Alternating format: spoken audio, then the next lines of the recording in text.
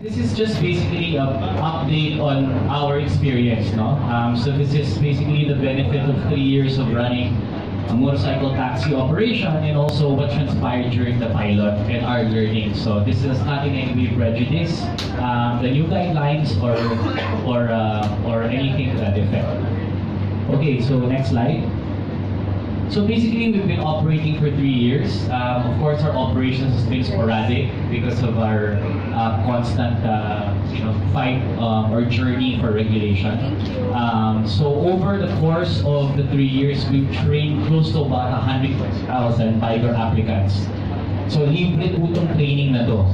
Um, and of the 20, 120,000 roughly, we ended up about with 26,478. So this is over time. Umakit po tayo ng 36,797, but because of banning, because of issues on the compliance, etc., etc., over time, course of the three years, and minsan nag-drop off, ay naman motorcycle taxis, um, basically we deactivate about 10,000. So roughly our failure rate on average is 63%, no? almost uh, 70%.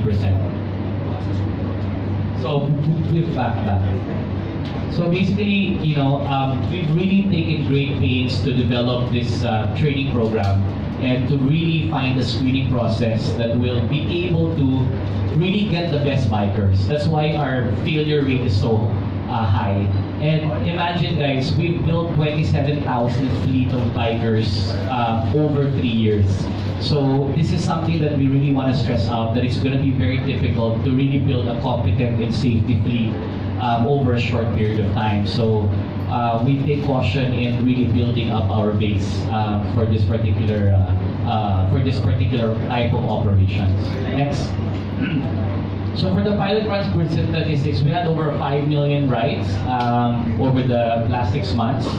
Um, so we've had total of 3 million downloads over the three years. Um, actually. Three years, well, I guess uh, this is just for the pilot. It's three years over time. Um, and then we have a 0.003% accident rate. So one of the major, major um, KPIs of the initial pilot was safety. Now, if you look at the MC pilot guidelines in the beginning, the threshold was 5%. For all operators yan, um, today, in the future, ideally, no, na yung threshold ng, ng uh, accidents mo must be 5%. So, we're happy to, so ngayon, challenge kami ng uh, PWG na kaya ba yung mag-hold up pa yung 0.003% mo over time. Because back then, during the injunction phase, we're only operating for 4 months. So in the, in the pilot phase, we were given the chance to operate for six months, um, and we're happy to hear, uh, we're happy to share that we've actually held it. Uh, minsan umaakit pa ngayon sa 0.002%. Uh, but on average, we're at 0.003. Um, zero fatalities. Um, so a lot of it, majority of it is actually bruises, um, but there are some major fractures. Um, unfortunately. Next. Um, so because of the degree or the kind of injuries or accidents that befall a motorcycle, um, we were forced to create a 24-hour emergency medical response team. Now, why is this very important? Alam niyo, pag nabangga po ang kotse, malaking possibility na wala pong mangyayari sa tao.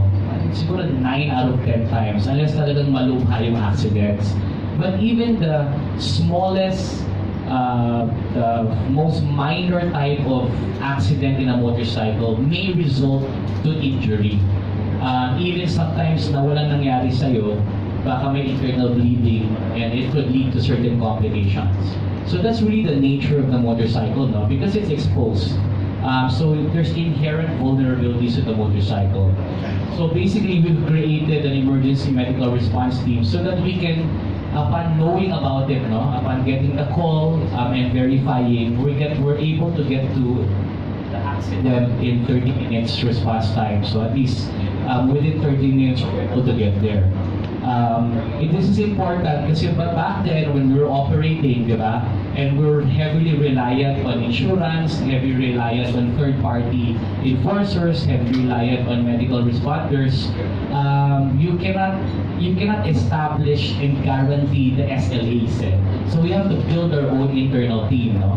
So the problem rin with motorcycles, and I'm sorry to say this, no, with no with due respect to everybody, pag ang problema sa ospital, and there, sino nagmumotorsiklo dito, I'm sure you guys have an experience, pag nagmumotorsiklo ka at aksidente ka punta sa ospital, medyo hindi ka pinapansin. And minsan humingi pa ng down payment and sometimes you're turned away because there's no GL and there's no capacity to pay.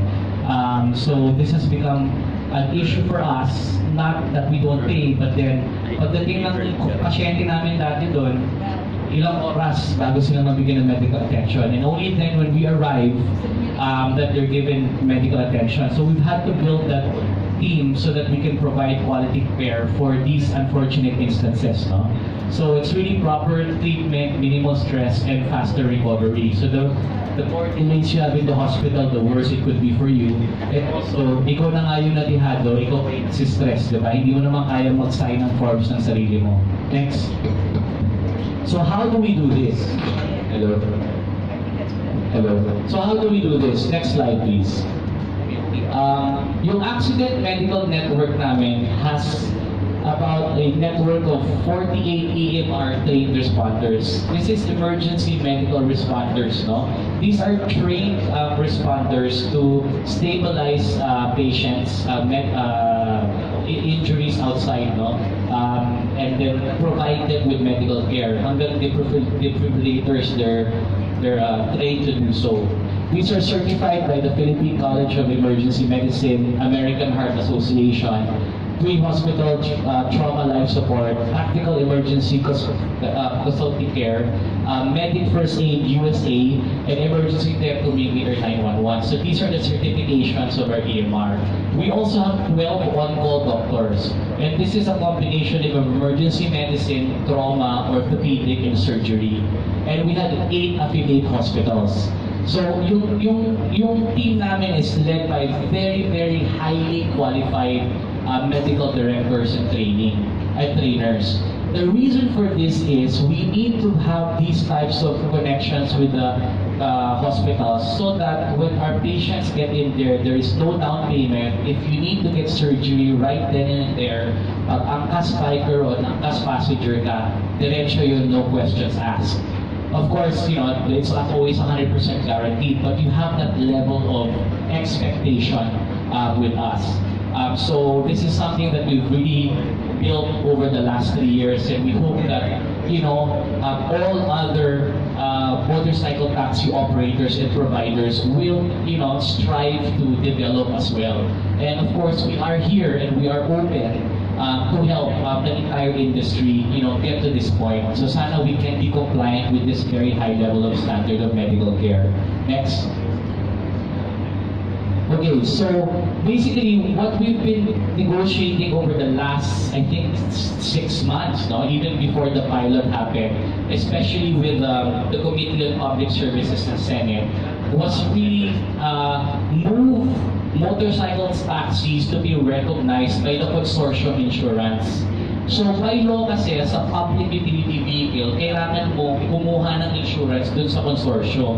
So there are two consortium which is PAMI and SSCI. So this is a consortium or a combination of all the private insurers, large and mid-size, uh, put together to provide insurance coverage to um, the public utility vehicles or the passengers of the public utility vehicles. Now, why is this important?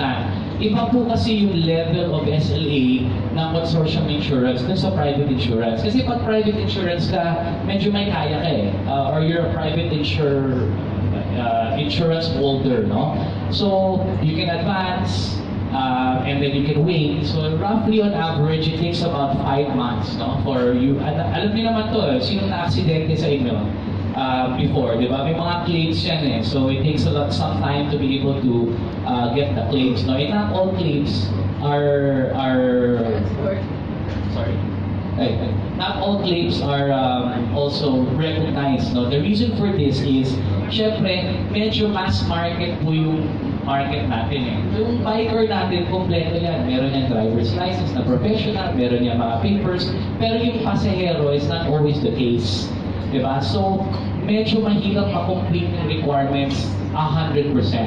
Right? So this is the problem with private insurance. So really, our hope and wish is for the Philippine uh, uh, Insurance Commission to really recognize, even now, na wala pang law, na while even at the pilot stage, i-recognize na yung motorcycle taxi na pwedeng bigyan ng coverage ng consortium insurance so that we can all um, have you know a much bigger coverage platform um, and infrastructure.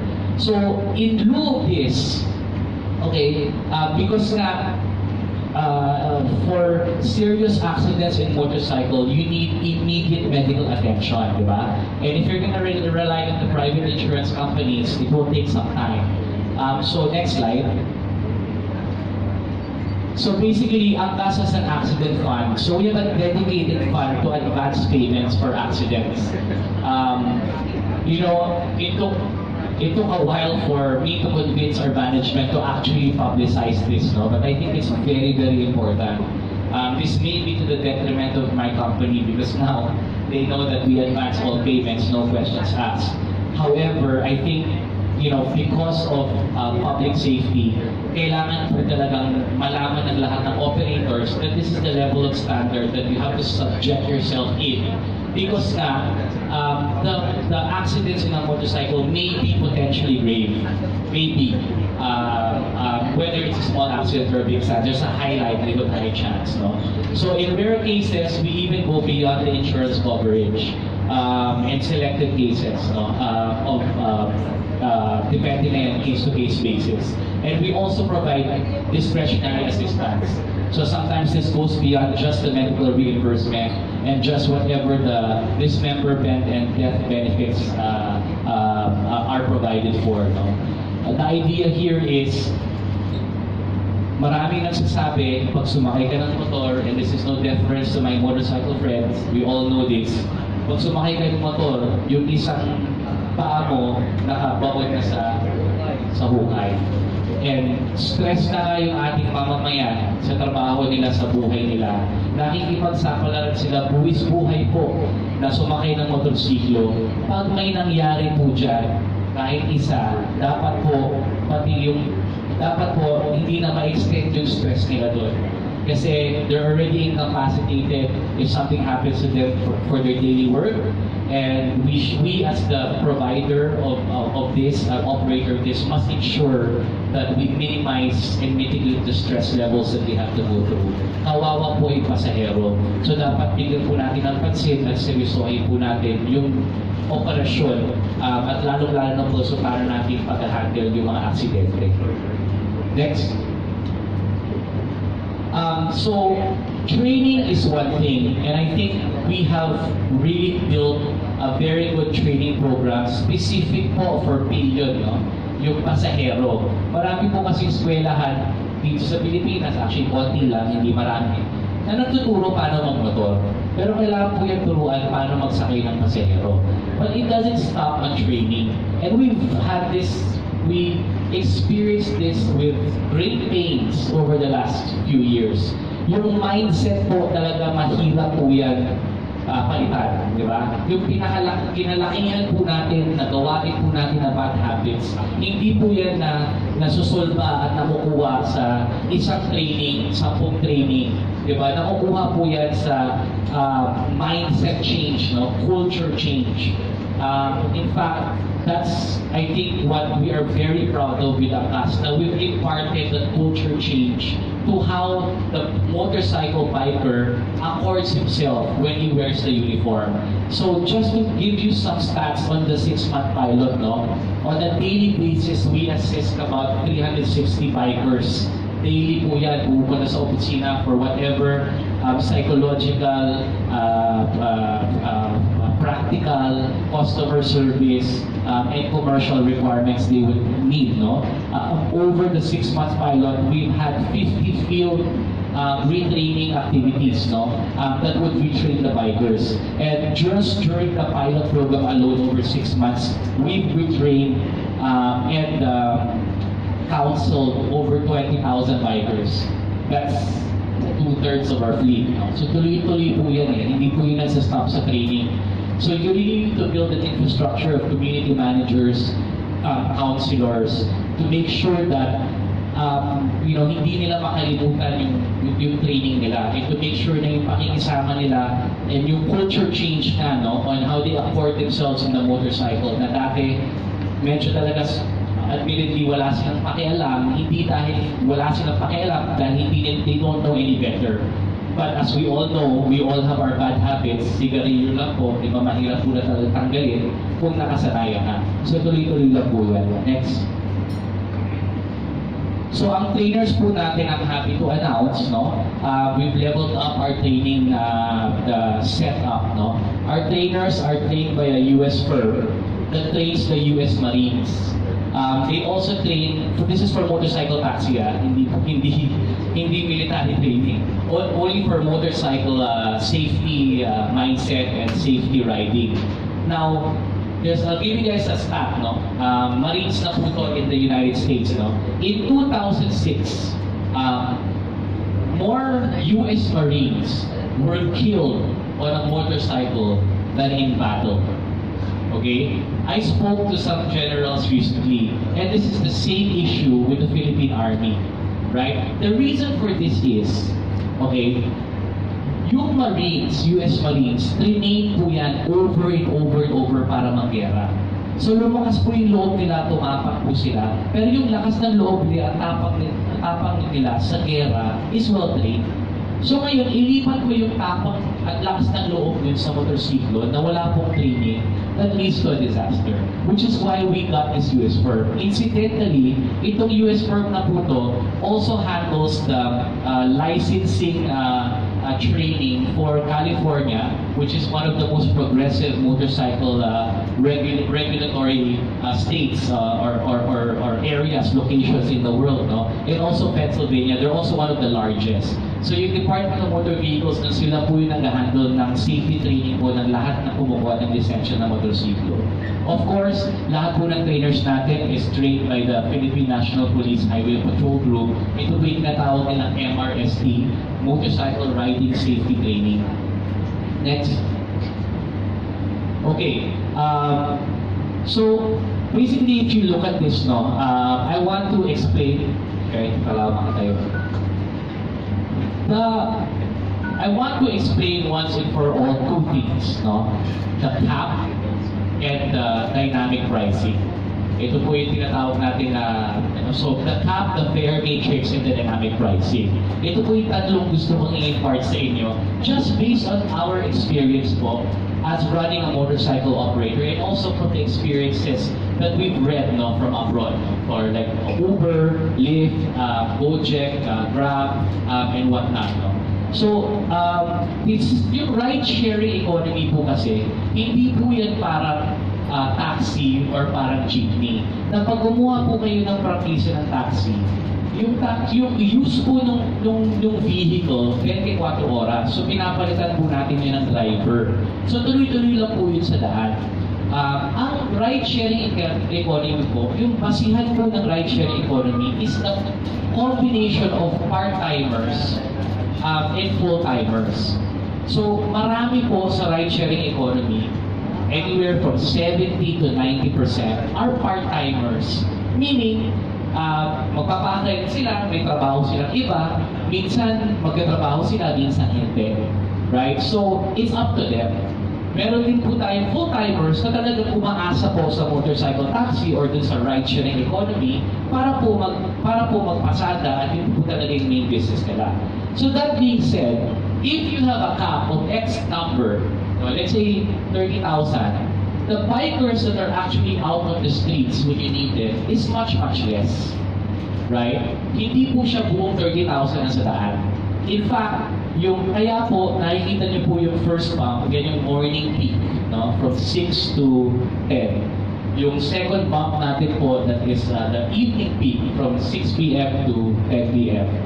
Ang, ang, uh, so, so ang ginagawa po ng maraming operators is we give incentives, di ba? Um, we give, uh, you know, to the drivers para pagdating ng peak, lahat kayo pumunta doon. Kasi marami po dyan, syempre, pag traffic, di ba? Lalo na po pag kotse, pag motor, ganun din po. Pag traffic, ay, ayoko na lumabas.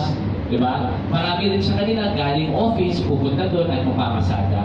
Eh marami rin talagang full part-timers na talagang nag-odd jobs at lumaraket. So all of that, you need to make sure that you incentivize them that during the time that you need it the most, which is the most traffic areas, which is a few hours in the morning, about 3 to 4, and a few hours at night, they need to appear at those times because that's where they're needed. So you have to provide those incentives. So it's I wanted to debunk the myth, no? So if you have this much cap, the, the motorcycles out on the streets is very, very minimal. It's very little, depending on how you incentivize them to come out. Next. So if you're looking at the current demand and supply uh, graph right now, di ba? Let's say this is the existing capacity that we're supplying because based on based on our uh, estimates, parang lumalabas po ng kasama yung Facebook, kasama yung habal-habal, para mga 200,000 a day po yung motorcycle operate, uh, motorcycle rides. Right? So let's say you're providing this much demand, no? Um, at a certain cap. Kasi nga, sinasabi ko po, hindi lahat ng motorcycle lumalabas um, 100%. So, konti lang po yung lumalabas. Yung full-timers nyo, which is the core, right? And then, ino-augment po yan ng part-timers. Next, if you lower the supply, if you lower the cap, then the supply significantly goes lower. Which is the reason I just want to, uh, again, no, um, we want to work with the LTFRB and ito ay study at pag-aaral. So we want to share our learnings with everybody na it is exacerbated na if you have a cap on every single provider, depending on the popularity of the provider and the demand generated and the awareness generated of the different provider, hindi po siya pare-pareho. So meron po tayo providers that with super high demand, meron tayo and, and low supply, meron tayo providers with high supply and less demand, and so on and so forth. So this needs to be taken into consideration because this is the real world experience that we had over the six months uh, and also uh, over the last three years now that we had to learn painfully. Next. So basically, the fair matrix, di ba? Yung fair matrix po na nakikita nyo dyan sa pag-aaral natin, fair matrix po yan ang galing kay Angkas. So paano po natin nakuha yung fair matrix na yan? Um, the fair matrix is not meant, is meant to be cheaper than four wheels significantly but it's not meant to replace public transportation. Ang sinasabi ko sa public transportation, uh, mass transit, bus, pati MRT. Ang idea po natin sa pricing, okay, tatlo po yan. One, mass transit consideration. Two, habal-habal existing consideration. And three, alternative to four wheels, taxi or TNC. So it is substantially more cheaper or more affordable than four wheels, but it should not be substantially or it should not be much more, it should not be as affordable as public transportation. Because motorcycle taxis are meant to be an alternative form of transportation, meaning ang pinaka ma pinaka ma taas po namin uh, customer is three times a week. Right? So, yan po yung talagang gamit niya. Emergency, sobrang traffic, mahaba pila o kung ano man, di ba? So, kailangan ko, I have to get there and negotiate my way through it. And hopefully, eventually, pag naging perfecto po yung ating public transportation or mass transit system, maging feeder system na lang po si motorsiklo. And feeder system means, hindi na siya point to point. Point to mass transit hub, mass transit hub to the end point and then from that point to where your final destination is. So feeder system po tayo. So the pricing was benchmarked on two things, no? We in the beginning of the study, we uh, surveyed 200 habal-habal terminals. So we found out that yung habal-habal terminals na yun um, was uh, yung habal-habal, mas mura, mas mahal kami sa habal-habal by maybe 20%. But then, syempre, yung habal-habal, walang insurance, wala pong training and whatnot. So, the added benefit of the safety, people were willing to pay for the additional payment. And in fact, yun nga, it's not meant to be that kind of claim because dapat alternative mode of transport lang po siya at hindi po siya ginagamit na talagang pang-araw-araw. Although I know, especially last December, marami po sa atin talagang nagamit na po siya pang-araw-araw dahil po sa kalubahan, kalubahan ng traffic.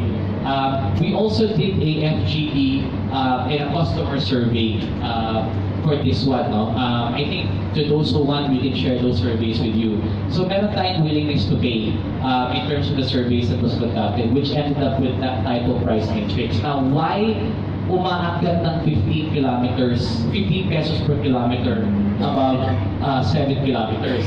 Because it's meant to be for short distances. Okay? Napaka-uncomfortable po ng motor pag pag long distance na pasahero. Ha? Yung, yung, ikaw yung nagmamotor, masarap po yun. Long distance. Pero pag pasahero po, we discourage that. So 5 kilometer, 7 kilometer distances uh, is encouraged. Yung mahahaba po, na significantly nagmamahal po yung fare natin. That is by design. So yun po yung punot dulo ng ating uh, ating fare matrix. Next. So again, uh, habal-habal benchmark and consumer profile. This is meant to be for urgent and infrequent trips, two to three uh, times a week usage. Okay, and for habal-habal benchmark, we are around Yes, they are around 10 to 20% cheaper than Angkas, but people are willing to pay for the safety factor that is involved in the uh, uh, in the ride for uh, motorcycle taxi, the professional motorcycle taxi. Next. Okay, so next. Okay, let's talk about dynamic pricing, no? Um, based ng, so, maraming usapan po ng dynamic pricing. Uh, sa four-wheel, ngayon sa two-wheel, uh, and I wish to sana explain the basis of this dynamic pricing, no? Um, first of all, yung basihan po ng dynamic pricing ng four-wheel, malayo-malayo sa basihan ng two-wheel. Bakit po? Kasi mas mababa yung base fare. Diba? For example po, yung four-wheel is may 2, 2x um, um, surge. Diba? So let's say yung, yung base mo is 300. Okay? Um, pag mataas yung demand at mababa yung supply, may algorithm po yung app na sinasabi na walang bikers sa daan mababa yung supply. Walang na biker sa daan, mataas yung demand. So, bibigyan natin ng automatic incentive yung mga bikers. Tataas po yung yung presyo with a dynamic price uh, uh, multiplier para to encourage the bikers to go out on the streets. Diba? So, nangyayari po ito sa peak hours. For example, tinatamad yung biker. Diyos ko, Friday night, imagine, payday Friday. Lahat na tayo gusto nating bumimig. Diba? Yung biker, ganun din. Ayaw niya magtrabaho, masyadong traffic, payday Friday. So ngayon, pumapasok po yung dynamic pricing na yun to encourage bikers to come out. So ultimately, this goes to the benefit of the customer because the customer has a higher chances of booking in times when they really need to book for transportation. Now, the problem is, um, this is exacerbated with the four-wheel issues that has nothing to do with two wheels. Now, if you look at it from a two-wheel perspective, ang base po niyan maliit. So, ang dynamic pricing po na recommend, recommended for two-wheel is anywhere between 1.3 to 1.5 times. Sa 100 pesos po at 1.3, that's an additional 30 pesos. Diba? Sa 2 times, sa 300, that's a doble yan, additional 300. So, malayo po yan. We found out that the market at least that market, no, which is really meant for alternative mode of transportation. Again, sinasabi ko po yung alternatibo po, hindi po dapat pang araw-araw. Di ba? They are willing to pay the driver an additional 30 pesos or even 50 pesos just so that they can ensure that booking. Because the actual quantum, which is the actual figure itself, isn't that big compared to other forms of transportation. So, I would just like to explain this and later on, you can, we can have, a round of questioning on the dynamic pricing. Yan po ang purpose niya. So, next slide. This is calibrated with feedback. In fact, umabot po kami sa 2.0x dati. Maraming nagreklamo. Right? So, hindi po yan haka-haka lang. Over the last 3 years, pinaglaro po natin yan in terms of ano yung magiging sweet spot po. Um, pag December, maabot yun ng 1.5, syempre. Pero pag mga regular months naman, you're really looking at about 1.3. Diba? So if, if your base fare is low enough, it shouldn't really matter that much, especially since you're not using this for daily use. And the point is really to push them to other, to mass transit. Diba? Yun yung point natin eh. We, ang point natin is to augment the existing mass transportation. We're not supposed to replace it. We're supposed to augment the build, build, build, uh, uh, the build, build, build initiatives of the Duterte administration. Right? Ano tayo eh, interim. Right? Ngayon lang, nagagamit siya point to point because maraming construction, maraming development. But eventually, ang talagang basihan niyan or talagang magiging establishing niyan is really uh, alternative mode of transportation. So, this was done with a lot of um, experimentation, a lot of studies, a lot of customer feedback, a lot of bashers of the internet, you know, um, and a lot of consultation also with the customers. Um, combination po yun ng promo code, na mayroong uh, dynamic pricing, etc. etc. So, hinalon po namin talaga yan ng tatlong taon. Next. So, if you look at this, no, yung supply cap mo, may baba na, supply demand mo. Pag tinanggal niyo po yung dynamic pricing, ano po mangyayari? Mas mumura yung fares. Ano po nangyayari pag nagpo-promo code tayo at nagmumura yung fares? Next slide. Tataas po yung demand. So pag tumaas yung demand, tinanggal mo yung surge, tinang, just naglagay ka ng cap, bumaba yung uh, bumaba yung uh, uh, supply mo because remember um, the combination between part-timers and full-timers medyo mahihirapan po yung uh, publiko mag-book. Diba? So, sana po, uh, we can, again, it's a study. So, pag, pwede natin paglaruan po ito through the course of the study. Uh, and I believe naman po, uh, the LTFRB, the uh, technical working group, you know, is uh, is amenable, uh, you know, to you know suggestions, and they are. Uh, I believe that. And yung study na po, maglalaro po natin yan sana po over the next 3 months kung ano po yung magiging optimal para po dun sa pasahero. Uh, next slide. So, the way we see it po, based on our experience, di ba? Um, if you put a cap, uh, if you don't want uh, dynamic pricing, then you relax on the cap so that you have more bikers on the road. If you want to lower the cap, then you need to be uh, more uh, lenient on the dynamic pricing so that you incentivize incentivize the bikers to go out on the road at the right time when they are needed. Um, but if I, I, I, I, I'm afraid if you take if you put the cap and you take out the dynamic pricing, medyo dun po talagang ma, ma, masusuppress po natin yung ating supply that may may have may may maging maging it may, uh, the public may find out that it may be a bit more difficult to book no, when they need to. Um, and um, next. And basically that ends the presentation po. Um, so hopefully po, sana may natutunan kayo doon sa aming uh, uh, presentation. Uh, we hope that um, yun nga po, yung safety standards that we set up, uh, sana po talagang yun yung maging uh, standard para sa lahat. Um, kunin po talagang uh, pagkilikin po natin na ma-push at ma-establish po ito uh, sa batas po natin. Uh, I will be making the same presentation po sa Kongreso, sa Senado, as I to the technical working group.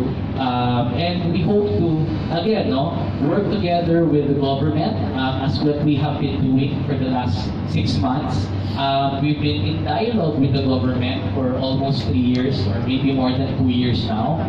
Um, and our ultimate goal is really to provide uh, alternative and effective, safe and efficient mode of transportation to the riding public. Pasensya na po sa nangyaring back and forth. I'm sorry um, if this has, uh, you know, um, gone up to different, uh, uh, to a different level of inconvenience to LTFRB, to DOTR, and to the riding public. Please don't uh, mistake um, um, what has happened um, as defiance. We are passionate to serve the public. Um, and with this passion um, and with our experience, um, we hope that um, you know we really get to establish a lot of these safety protocols and learnings and key takeaways. And that we are here ultimately for the right public. And ang talagang pakay po natin dito is matapos po yung study na magkaroon tayo ng magandang mga datos po dun sa study whether it's the last 6 months plus the 3 months po na binibigay po na extension at magkaroon tayo ng maraming angulo, perspektibo, datos para mapresenta po natin ng maayos sa Kongreso at Senado at magkaroon po tayo ng napakagandang batas na talagang na-test natin sa daan, uh, na-test po natin sa publiko at yung talagang makikinabang ultimately is the riding public while we are generating thousands of jobs um, also to our citizens. So yun lang po, um, again, LTFRB, DOTR, we are here uh, to make the uh, uh, pilot successful with you and the other players. We welcome the other players in the industry and we hope we can work together hand in hand in collaboration for the Filipino people. Thank you very much um, and good day. Um, so now we open the floor for question. Okay, Salima. Just to be clear, Sir George, So, sir, no, lakasan ko na lang, sir. Sir, on an average, daily, daily average um, demand, gaano po karami from your consumers, riders, yung mga sumasakay? Uh, roughly yan, mga 30 ganun. 30,000 Roughly. Yeah, roughly. Peak. Well, iba-iba eh. Kasi hindi mo, you, have to, you can't use December. December is ridiculous. So pagdating mo ng, okay, um, uh, ganito yan eh. When you get to the Burr months, it changes eh. So when you get to January, it also changes. So it's very seasonal. But you average it out at 30. But then hindi lang yung 30. Minsan payday Friday, nagsa-search siya. Di ba? So average mo ng month, 20, 28 to 30,000. But recorded highest? Uh, uh, maybe closer to 40 yan. I'm not sure. Uh, I'll get back to you on that. But then ang average mo is mga ganun. But then, ang ang demand that we believe, no, based on the experience that we've had and the research that we've seen on the road, and count mo na lang, di ba? When you go on the road, ilan yung angkas versus ilan yung habal-habal. Medyo umabot tayo ng mga two. Ang believe po na namin the market in Metro Manila alone is already 200,000 per day. Yeah, but but nasa 30 lang yung demand ninyo talaga, on average. Pero yung supply ninyo on an average, gaano karami? So you talk about maybe 5,000, uh, 3 to 5,000 on the road, thereabouts. So hirap din talaga kayo. Yeah, kasi nga part-time, yun talaga I need to stress out, no? The cap is not 100%. I mean, like, not the, the pool of bikers that you have is not 100%. You know, ma- masaya ka na sa 10% na nasa loob. Masaya ka na doon. Right? So, and again, iba-iba po yan. Iba ang Sunday, iba yung Monday, iba yung Friday, iba yung morning and afternoon peak. So, it's a little bit more complicated. Yes, go ahead. Sa dynamic pricing, may search pricing pa rin ba pinatutupan ng. Sir, uh, ma'am, we will comply with the we will comply with the with the regulators on taking out the the search price. Pero meron tayo the past few months. So we were we were studying it, no? Um, and syempre, iba po kasi dapat humingi po kami ng pasensya sa sa LTFRB kasi meron sana po bigyan po ng transition si ACAS. We're not asking for special favors, pero nauna naman po talaga si ACAS running for six months. Eh. So we really hope that there's a transition period on how we transition our fleet to the new guidelines. So we will be, you know, complying on the surge pricing uh, um, um, as stated by the DOTR. When will you start not charging? sa- Today. Today. ha? Today. Operation. Diba? Wait, wait. Um, si ano, si Jackie Sudot. Hi, Jackie Manaba to, baby, as CBN News. Okay lang. Sa mo na lang, boss. We'd like to hear your take dun sa sinabing uh, possible blacklisting of you of Angkas once this um, study, uh, if, uh, once a law is uh, is already out, given that you have violated um, some part of the guidelines, including yung operating outside Metro Manila and Cebu. So, any question? So your take on that? Did you really violate the guidelines? Did you really operate sa CDO? Did you really? So first, uh, sa blacklisting, no, I think, um, you know, again, uh, there's been many back and forths, many words have been said through the media and through our proclamations between one side to the next. I just like to reiterate, hindi po to away ng angkas at ng gobyerno, hindi po to away ng LTFRB ang angkas. Pareho po tayo pakay minsan po, nagkakaroon po tayo ng differences of opinion and perspectives, but at the end of the day, the ultimate goal is really to provide an efficient and affordable transport, alternative mode of transportation to the Filipino people. So in terms of the blacklisting, we hope to work with LTFRB to ensure that we are, um, you know, not put in that position, uh, and that we get to continue in providing a service to the study and more data to the study, because I think that the experience that we have over the last two years is valuable. In terms po of, uh, of the operations outside, um, you know, we've stopped operations both in uh, Gensan and CDO. And, you know, uh, on the question on uh, the, the, ordi- the local ordinance um, conflicting with national laws, I, I don't think I'm in a position to have an opinion on that. No, that is a matter that's left to be um, uh, left to be resolved by the courts if such, such thing happens. All of these conflicting rules. But then again, um, we have um, complied. Um, there are no operations in CDO and GenSan. Uh, but we hope we can still run our padala service since wala naman po talaga uh, restrictions on that. No? Um, but then, in the meantime, um, focus po tayo sa Metro Manila and Metro Cebu. Okay, si Gerard and then um, si Aris. Ay, okay. Okay lang. Hi, sir. And so, um, I'd like to add lang, no? So we are, uh, you know, working with, um, you know, the, the, the drivers po um, in those areas to make sure that, you know, uh, we help them out in this uh, time of need po. So, um, you know, uh, you know, again, pasensya sa lahat. Uh, marami pong factors to. Um, and we hope that at the end of the day, um, we get to uh, make sure that everybody is okay. That's your question. Hi, sir. Good morning. Gerard de la Peña from TV5. Um, how did you feel about hearing yung, yung sinabi ni uh, Mr. Swansea that you are bullying the government and that you are going to be possibly going to be blacklisted? How did you feel about hearing that? Meron ako dito ano, ang bullying.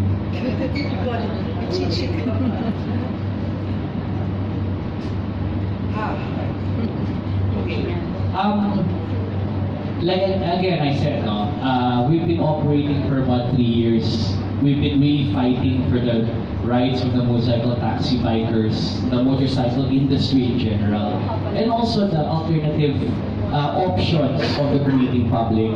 Hindi lang po ako mag-isa dyan, marami pong organisasyon na tayong magkasama, civil society groups, commuter groups.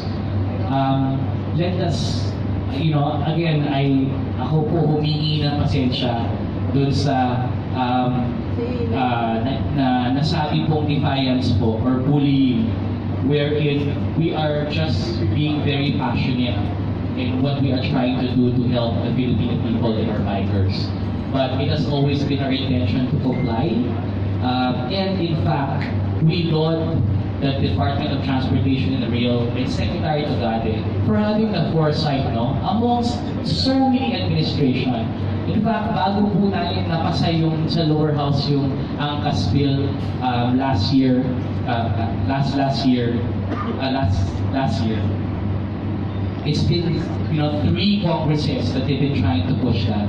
And we know that the RA 4136 is an antiquated Kalesa law. And this administration had the, you know, the, the foresight um, to really listen to the public and create a technical working group. Ayaw po natin sayangin yun. Um, ayaw, you know, wala pong, wala pong nagiging positibo sa away. Um, and we may have our differences, but we should resolve those differences for the benefit of the public. Um, we are not make, we do not need to bully anyone. We do not need we bully anyone. I don't think a company like us can bully any, you know, such a, you know, uh, the government in any way whatsoever. Uh, but we have always been passionate, you know, to push uh, for the agenda of the commuting public and our uh, motorcycle bikers to give them the dignity that they deserve all these years. And we will continue to do so. Um, but again, that does not take away the fact that we have been working with government and we will continue to work with government to resolve these issues.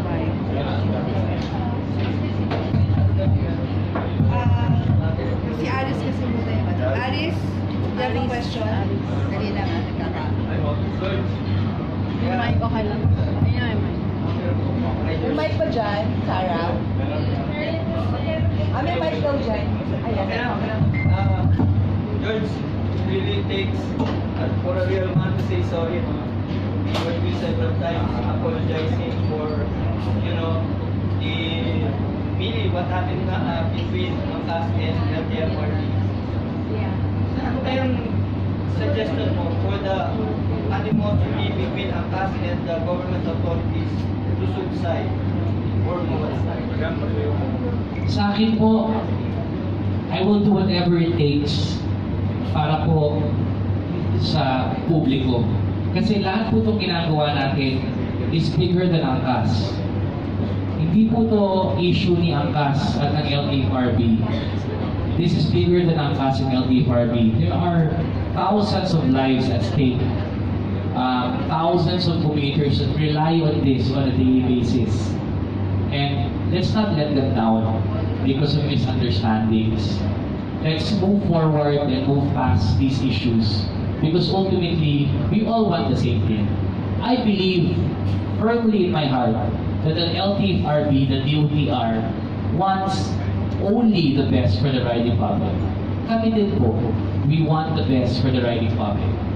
And, you know, we um, we are confident that with the Duterte administration, that the riding public will get a fair shake um, in terms of passing these regulations. Excited po kami. Excited kami to pass the regulations.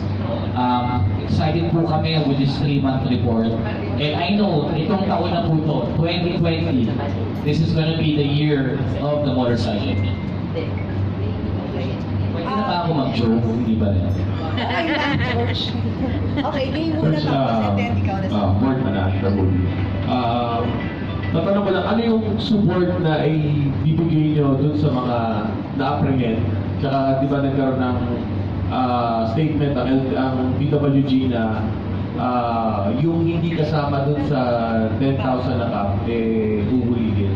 So anong support ang pwede nyo ibibigay sa mga drivers? Well, I think we can find a way to work that out. No? In fact, LTFRB has also announced that you know whatever is left in the cap um, can be uh, redistributed back to those with the operational capacity. No? So those are the things that we can work out. Um, we're receptive um, to anything that we can do to help that. Um, and in fact, sabi nga po ni General Garjola, hanggang March 23, we're talking about two months. Um, sana po, this is just one of those uh, challenges uh, in the journey or the development of the study to the ultimate uh, uh, uh, legitimization of motorcycle taxi operations. Um, again, you know, my bikers have been with us for three years. This is not new. And um, it's not new. So, alam po nila yung pinasukan nila. In fact, alam naman po nila yung gagawin nila pag wala silang magagawa, babalik sila sa habal-habal, unfortunately. But, sa, but at least, meron na po silang mindset on safety. And sana po na-improve na po natin yung kanilang pa, pa, ano, pa, pa, pamamalakad po ng kanilang operasyon. But then, alam ko naman po na confident ako na kaya po nating solusyonan yan together with the government. I don't have anything specific for you right now, but we are willing to work with the government to find a way together on how we can figure it out. Thank you, George. Uh, Jen? Jen, let's from ABS-CBN. Sir, uh, si Asek Swansea na dami na namang sinasabi earlier this morning. And they were checking your records daw with the SEC and that Angkas is 99% foreign owned by a Singaporean. So, that you're violating daw the foreign cap.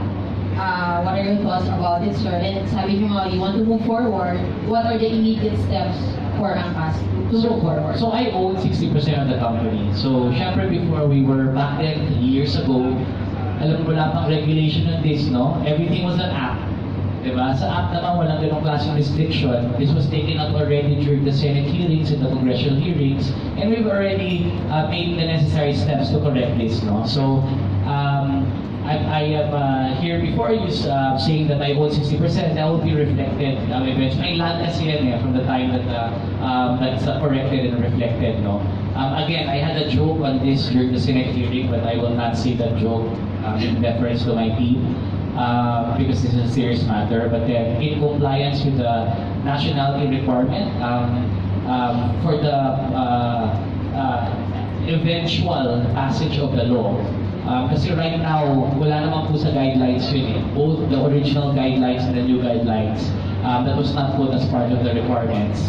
Um, but then we know definitely pag naging batas po yan, kailangan po talaga yun. So that has been rectified already. Wala pa siya. Sir, plans po. Ay, sorry. Immediate plans to move forward. Uh, meeting po with the LTFRB. Okay, Gilbert. And then next ka daw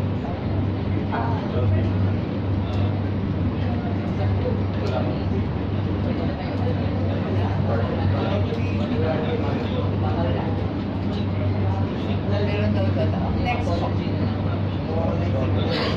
Sige, lakasan mo na lang yun. George, dito. Gilbert Chow on the page that Gilbert Mindanao, they